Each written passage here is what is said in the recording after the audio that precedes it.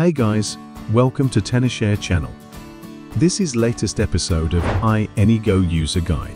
iAnyGo is a remarkably powerful and versatile tool that holds unique value in a wide array of application scenarios.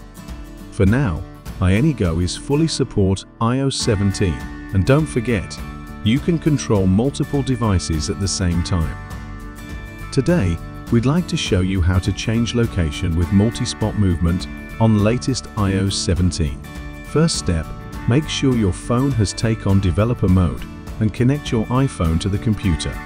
Remember that once you're completing the setup, for the next time you don't need to continue linking your device. Simply connect to the same Wi-Fi for both your devices and you can change the location directly.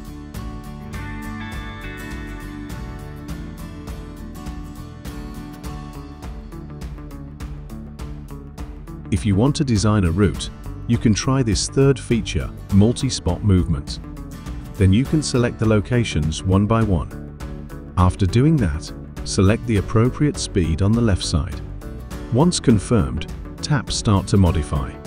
Now you are moving point by point on a live location. This feature is currently most applicable to popular location-based service, LBS games, such as Pokemon Go and Monster Hunter Now. That's all for today's tutorial. Try to free version and experience the charm of it firsthand.